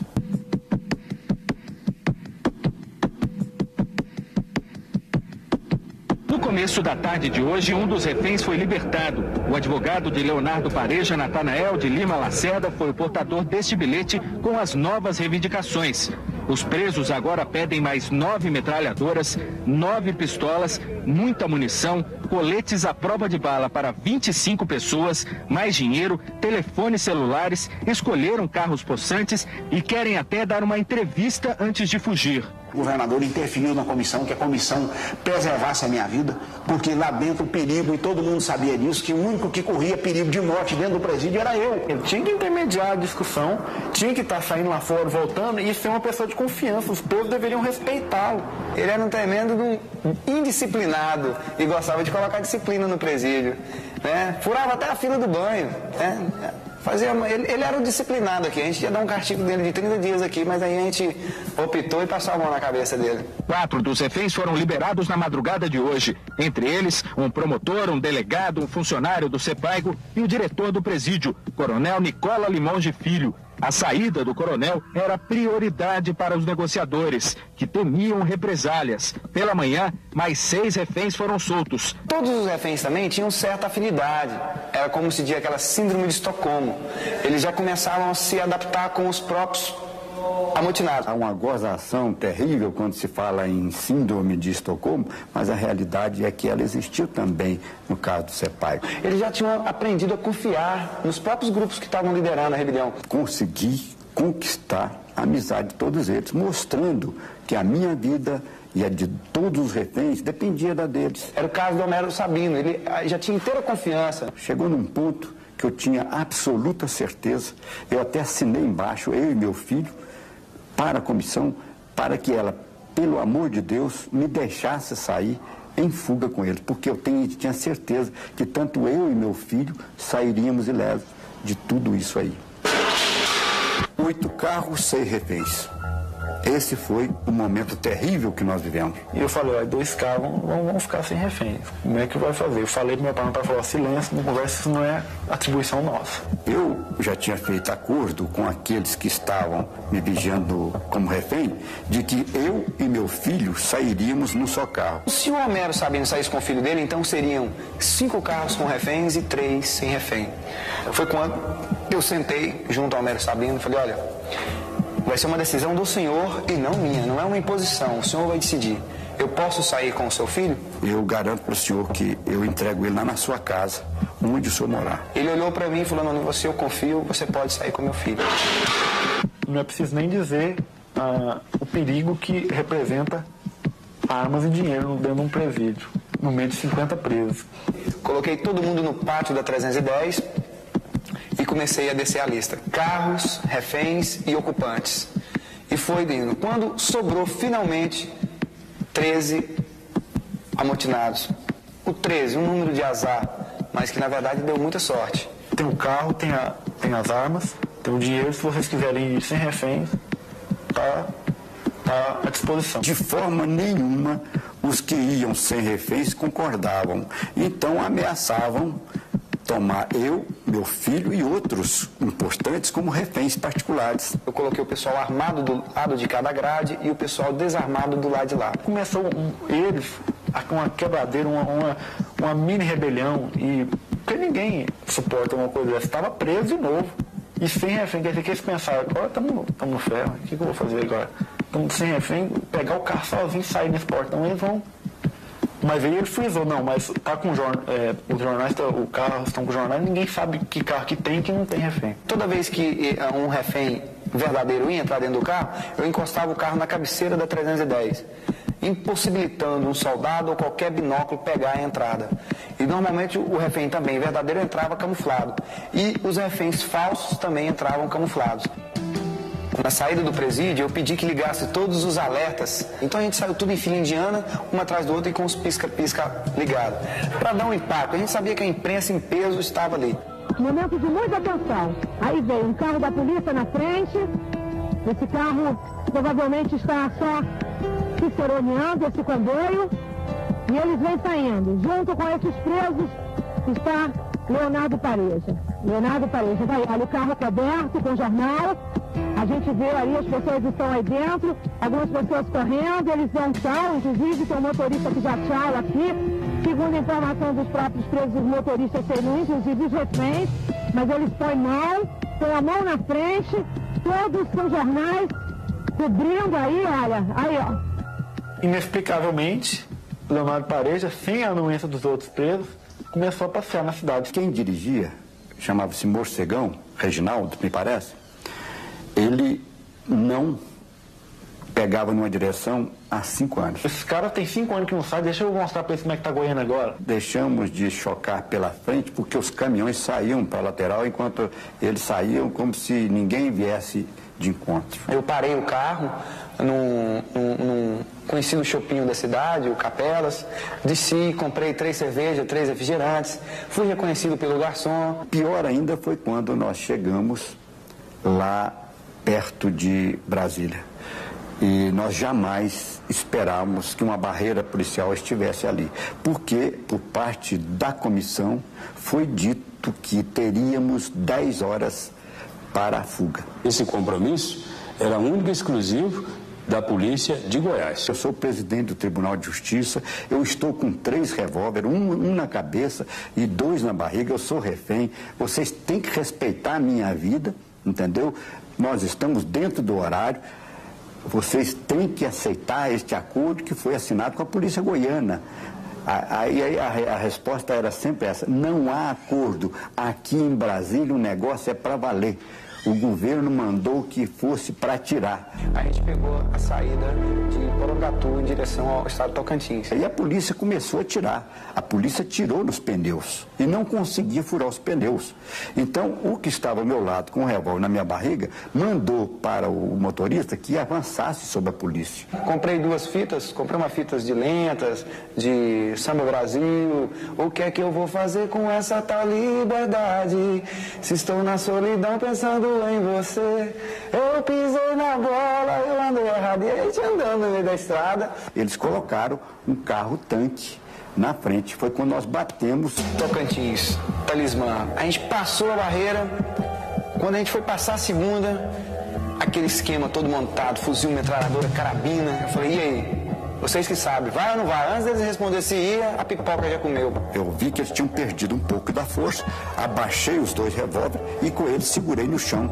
A polícia então logo chegou e em, em poucos minutos já prendeu todos eles. Deu um rodopio, o carro rodou e eu já entrei de novo e o tiro de fuzil comeu no motor, avariando a parte hidráulica do carro. O responsável é o comandante. E quem era o comandante? Não é nem o da polícia militar comandante era o próprio governador. E, na verdade, ele disse: Mas o senhor está livre, estou livre. Mas graças a Deus, não ao senhor. Passei a outra barreira onde levamos mais um tiro de fuzil, só que pegou também a parte do motor e indo, sempre em direção, voltando a Porangatu. Foi quando eles falaram, não, a gente não vai não, tá cercado na frente. Eu falei, então vocês descem. Pagou caro, porque logo depois apareceu outro carro de, de, de detentos e um carro na frente com aquela pobre moça e com aquele pobre rapaz que acabaram sendo mortos por tiros da polícia.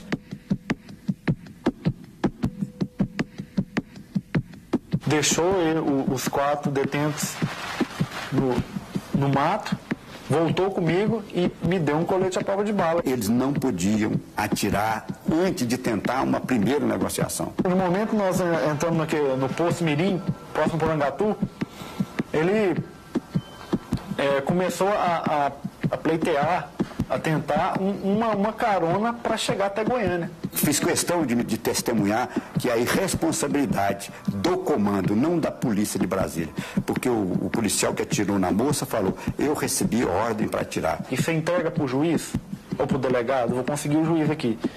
Fomos para dentro do bar lá e eu com a arma em punho.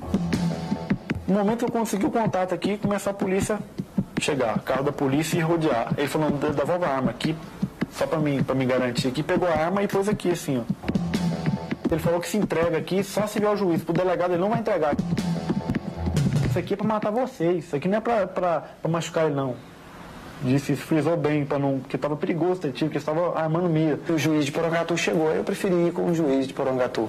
Só que na mão da polícia, nunca na minha vida eu vou me entregar. Só me entrego na mão de juiz ou alguém da justiça. Mas polícia só me pega morto.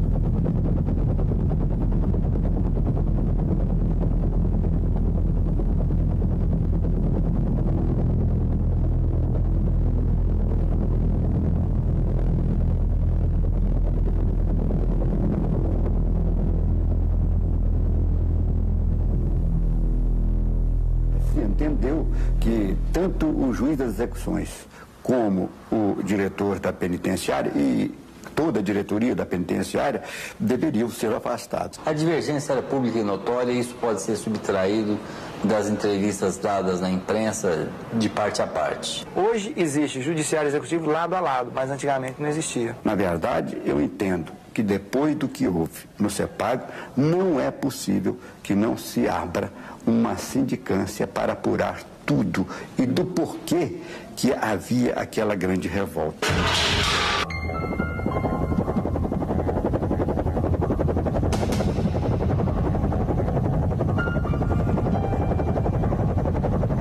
Eu cheguei aqui com o lema de mudar o que tinha que ser mudado e fazer aquilo que tinha que ser feito. E assim estou aqui até hoje. Coronel Vilmontes, que está fazendo um trabalho junto com o Judiciário. Nós já fizemos um plano de ação, um plano de ação em que entra a, a, que o Estado aderiu entra imediatamente uma escola primária lá dentro. Essa aí tá melhor. Dá mais atenção para os presos, o coronel desce direto aqui embaixo.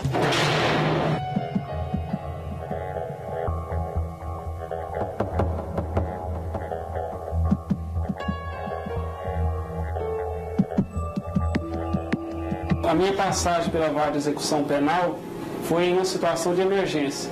O Tribunal de Justiça, confiando no nosso serviço, ele me nomeou para que fizesse uma, podemos dizer, uma faxina, fizesse uma correição em todos os processos da vara de execução penal. Muita gente aqui que tinha direito e não ia embora. E muita gente que tem direito hoje ainda não vai embora. Estamos sim preocupados para que a pena seja, digo assim, cumprida com dignidade.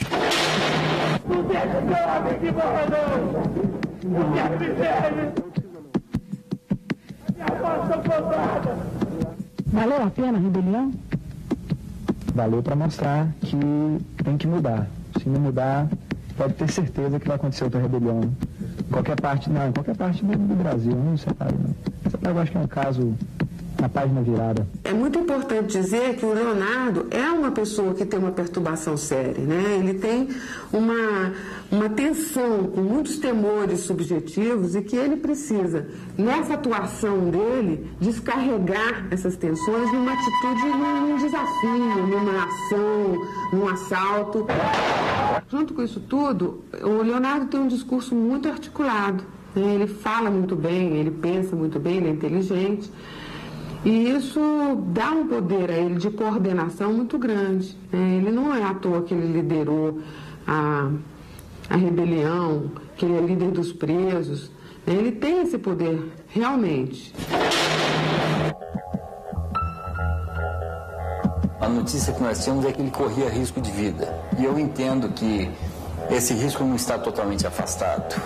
Ainda existe uma possibilidade, como todo presídio existe. Medo de morrer lá dentro não, mas é meio complicado. Nesse primeiro momento, seria muito importante ele viver longe de outros criminosos. Pode acontecer um tumulto devido à minha volta por lá, porque vão estar presos que eu convenci a sair com poucos armamentos, vão estar lá dentro, então eles vão se revoltar contra mim. Ah, cara, a gente devia ter saído com uma metralhadora, você fez eu sair com um revólver, e pode acontecer um tumulto. E o sétimo batalhão não era meu lugar, lá era um peixe fora d'água. Eu fiquei lá a pedido do meu advogado, Natanael, a pedido de muita gente, e porque estava uma certa tensão aqui no CEPAG mesmo. Não só para mim, como para todos da rebelião. Ele, quando estava no sétimo batalhão, ele não estava tendo o que a lei estabelece, a lei de execuções penais estabelece. Lá eram bandidos mais sofisticados. Eu não era bandido para estar lá, não. Eu era bandido para estar aqui. Outros presos recebiam visita normalmente. Por que, que o Leonardo não recebia visita? Então estava havendo uma discriminação. As notícias que eu estava tendo aqui do pessoal do CEPAG, olha, aqui tá tranquilo, você pode vir que a gente resolve qualquer bronca sua. Então, dois caminhos eu observava. Um, fazer com que a lei de execução penal fosse efetivamente cumprida no sétimo batalhão ou que ele fosse removido para outra dependência que não o CEPAIGO.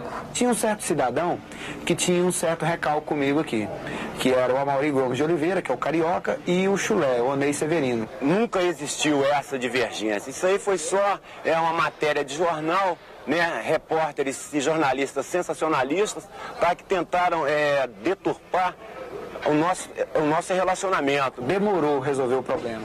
Que resolver o problema era eliminar o Chulé.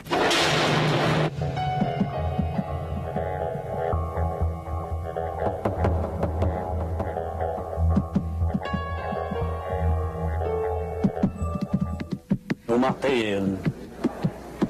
Foi que eu cheguei aqui, nós estávamos na DEIC junto. Cheguei lá na DEIC, ele já estava na DEIC, ele já começou uma conspiração comigo de lá. Que eles estavam falando que ia matar o Leonardo de lá, daí eu falando que não ia acontecer isso. Mas o chulé não morreu por causa de mim. Eu fui um dos motivos. Primeiro porque eu sou primo do Marco Aurélio, amigo, companheiro de sofrimento. Depois porque ele estava pressionando quase a ala B inteira oprimindo, querendo mandar na ala. Então, eu com aquela, todas as informações que eu tinha dentro do certo batalhão, não havia mais necessidade de eu me manter lá. Eu já tinha feito vários pedidos para o meu advogado, eu tinha feito pedidos para o juiz, já tinha feito pedidos para Deus e mundo, só faltava pedir para o capeta.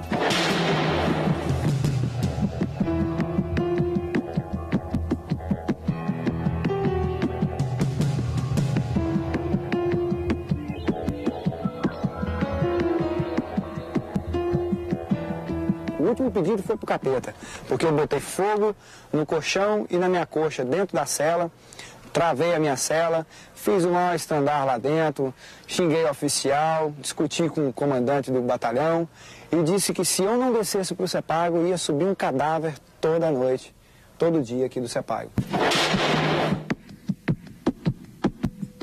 Aqui é meu mundo. Aqui é minha terra.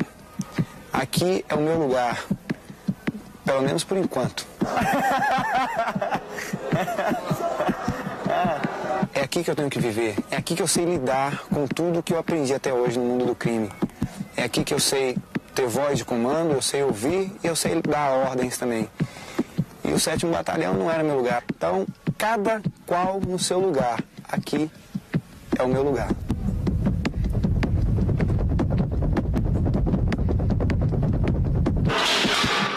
Num país como o Brasil, onde existe uma falência das instituições, um descrédito muito grande, o discurso do Leonardo vem, vem trazer uma expectativa de uma denúncia que talvez fosse transformadora. E isso gera nas pessoas uma admiração muito grande por ele. Né? Só que a gente tem que lembrar que o Leonardo não estava fazendo isso por consciência social. Eu não tenho medo de perder a liderança aqui dentro do, do presídio pelo seguinte, ela não, não me satisfaz em nada. Ela sim me traz muita pulga atrás da orelha. Eu acordo com, com problema e durmo com problema. Esse discurso dele que é muito revolucionário, de, de ter a coragem de denunciar, porque é muito arriscado, são denúncias muito sérias. É claro que isso está a serviço da vaidade do Leonardo, de, de, de, estar no lugar de quem denuncia, de quem tem essa coragem de fazer essa denúncia. Agora, não pode ser desvalorizada como denúncia, porque a gente sabe que grande parte do que ele está dizendo acontece realmente. Eu não me acho um Robin Hood, mas me identifico com ele. Por quê? Eu não roubo para dar para as pessoas, mas na medida que eu consigo desafiar a polícia e consigo dizer o que, que a polícia é, aí eu me identifico. Eu sou uma pessoa que desabafa o que talvez você tinha vontade de desabafar. Ele tem a lucidez de que o sistema precisa mudar. E ele, como porta-voz dessa minoria, dessa, né, dessa população que é mais oprimida, ele ganha um lugar de destaque que envaidece ele muito. Né? Vai falar muito próximo do narcisismo dele, esse lugar de herói, de, de pessoa corajosa que está defendendo os pobres e oprimidos. A necessidade de chocar era permanente, o desejo de fama evidente. Talvez Leonardo soubesse que escrevia uma história curta e exagerou para torná-la inesquecível.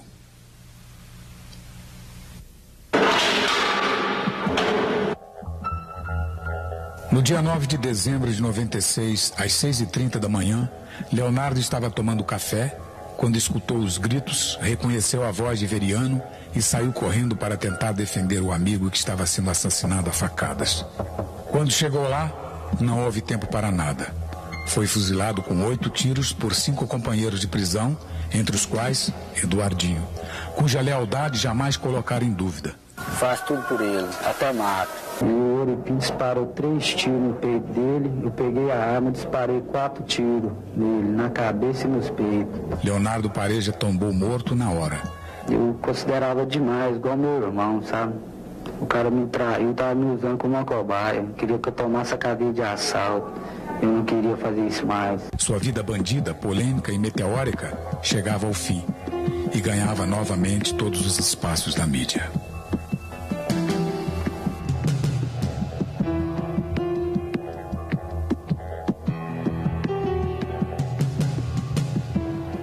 Todas as transgressões que você cometeu, pela justiça que praticou, você viverá.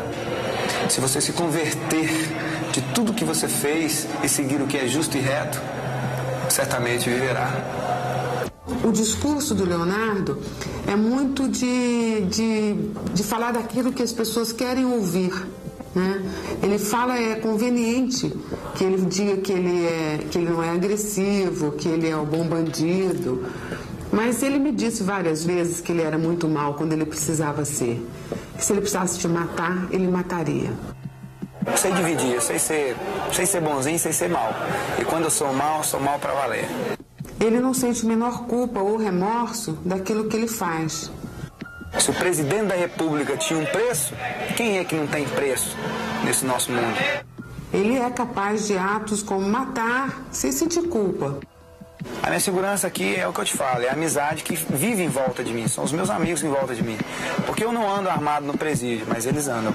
Ele pensava que, não matando, ele teria uma imagem melhor. Quer dizer, o desejo dele estava a serviço dele mesmo o tempo inteiro. Ele não estava preocupado com o outro. Acho que se não fosse o perigo, eu estava morto. Porque o perigo é o que me faz viver.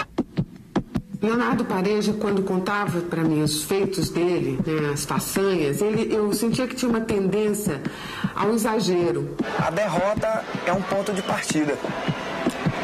Quando você é derrotado, você começa tudo novamente. As pessoas que liam ou que ouviam as entrevistas do Leonardo também caíam nessa fascinação por ele, porque era, uma, era muito fascinante o que ele contava, era muito heróico demais para as pessoas não ficarem fascinadas. Só jogo para vencer, nunca jogo para perder. E nunca perdi quando joguei. Eu confio minha vida ao Chaz, eu confio minha vida ao Eduardo Rodrigues Siqueira, eu confio minha vida ao Churrasqueiro, ao Marco Aurélio. Esse eu sei que se um dia eu tirar eles da cadeia, eles me tiram de graça. Busca, me busca. É muito importante a gente poder enxergar o Leonardo com a dimensão que ele, que ele tinha. Não como um herói, mas uma pessoa que estava ao seu próprio serviço, a serviço do seu próprio desejo. Bobo é aquele do homem que confia no homem. Começou na, na traição, que eu sou viciado em drogas, começou a me desprezar por causa da droga. Então o cara não é amigo, não. Eu pus certeza na cabeça que era traição, decidi matar. Matei um sem vergonha que pela sociedade era um rei, né? Um bandido herói pela sociedade, e não era nada disso, era tremendo matador dentro da cadeia, covarde, espancador do fogo. Eu estava que nem uma criança lá dentro, dominada por ele, não aguentei mais, fui muito humilhado. Logo depois da morte dos três presidiários, os autores do crime se apresentaram para a segurança. São eles Ivan Cassiano, Eurípides Dutra, José Carlos dos Santos, Raimundo Pereira e Eduardo Rodrigues. Não, não estava planejada não. Não, não, gente, não estava planejada não. Qual foi o último contato que você teve com ele? Ai, tenho, não sei não. A senhora não ficou sabendo? Estou sabendo agora, uma hora atrás. Você falou com ele por último quando? Ah, tem 15 dias. Então que não foi armada a morte? Não, não foi armada, não, não foi não, não foi. Medo da morte, aquela sensação que todo mundo fala, morrer. Gente, a gente não vai ficar pra semente, não. Todo mundo vai morrer. Pior bandido é aquele que tem medo de morrer. Aquele que não mata é aquele que não tem medo de morrer. Procurar eu não procuro, é ela que anda atrás de mim, mas só que é como se diz, eu ando numa Williams e ela anda numa Ferrari, ela nunca me alcança. A morte está na você não acha esquina, então você não acha a morte. Adoro brincar com desafio. Desafiar a morte pra mim é uma, uma brincadeira.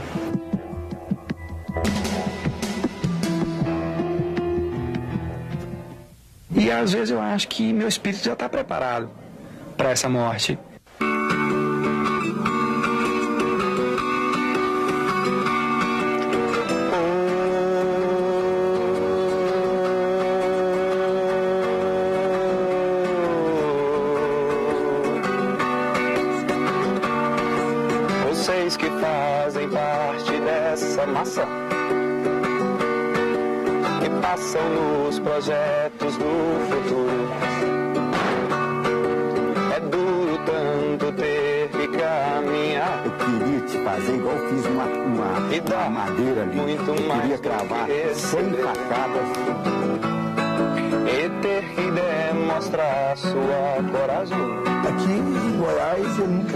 Mas mais o que possa parecer.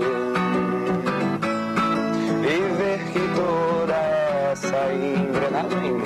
E foi quando eu tomei o tiro? Já sentia.